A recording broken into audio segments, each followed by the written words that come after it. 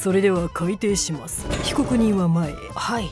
名前は？日清スーパーカップです罪名を読み上げてください。はい。カップ麺は公共のスーパーなどに何食わぬ顔で陳列されているにもかかわらず塩分炭水化物脂質が多く公衆の健康を著しく脅かす行為をしたものである。今検察官が言った起訴状に事実と違うことがありますか？はい。私はやってません。この塩分と炭水化物脂質が多いというのは間違いありませんか？間違いありません。でも人様の健康を脅かすようなことはしておりません。それでは証拠調べに入ります検察官は冒頭陳述をどうぞ。はい。先ほども申し上げた通りカップ麺には塩分が多く含まれすぎています。厚生労働省が出したデータによると日本人の摂取する塩分の高い食べ物の1位がカップ麺で1食で 5.5g の食塩を摂取することが分かっています。ちなみに WHO では1日あたりの塩分の摂取量は 5g 以下を推奨しているのでカップ麺は明らかな塩分の含みすぎです。意義あり。塩分を減らすことが健康につながるという事実はありません1日あたりの食塩摂取量が 12.5g だと最も死亡率が低いという研究データもあります。またカップ麺の場合スープを残せば大幅に塩分をカットすることもできますのでカップ麺の塩分が健康に悪影響を与えているというのは全くの事実無根です。塩分だけでなくカップ麺の炭水化物量も問題です。カップ麺に含まれる炭水化物量はおよそ 50g にも上ります。これは角砂糖13個分です。意義あり。お茶碗1杯分の白米の炭水化物量が 55g なのでこれが問題であれば白米を食べること自体が問題だということになります。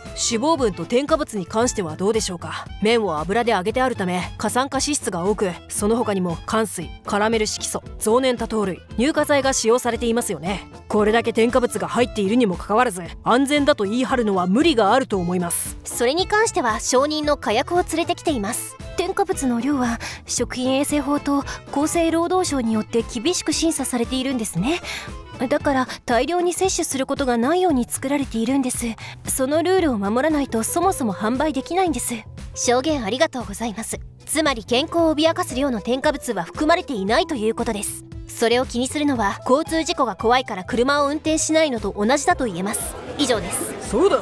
カップ麺は悪くない。そうだそうだ。静粛にそもそもカップ麺には何の栄養素もありません。イギリス人のジョージ・リードマンさんは超偏食で5歳の時から13年間ほとんどインスタントラーメンしか口にしていないそうです。その結果18歳という若さにもかかわらず極度の栄養失調で80歳並みの健康状態だと専門家に断言されました。これはカップ麺が体に悪影響を及ぼすという動かぬ証拠です。意義あり。そもそもですよ。ジョージ・リードマンさんは野菜やフルーツが嫌いで一切食べれない偏食家だそうです。その代わりにインスタントラーメンを食べることでなんとかここまで生きながらえることができたわけです。そもそも一つの食べ物を13年間食べ続けること自体体に悪いのは当たり前です。チキンラーメンの生みの親安藤桃福さんも他の食事と一緒に毎日カップラーメンを食べておられたそうですが96歳まで長生きしました。つまりジョージ・リードマンさんの例はカップ麺が悪いということではなく一つの食べ物を食べ続けることが体に悪いということでありカップ麺とは全くの無関係だと思われます。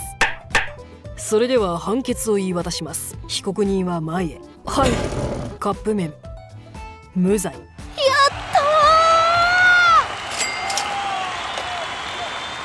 フェルミ研究所はカップ麺は体に悪くないと結論付けました。ただしカップ麺だけを食べ続けるのはやめましょう。今日の授業は終わり。また来てね。